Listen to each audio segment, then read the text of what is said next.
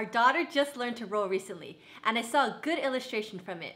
This one time, she was holding onto a blanket with one hand while trying to roll in the opposite direction, but she wasn't able to do both at the same time.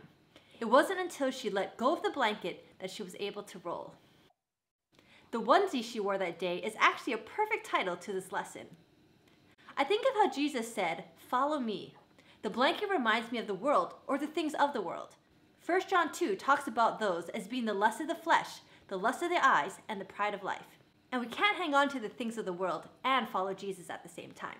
So, just like my daughter who had to make the decision to let go of the blanket so she was able to roll, we too must make the decision to let go of the things of this world in order that we may follow Jesus. And with God's help, we will be able to do just that.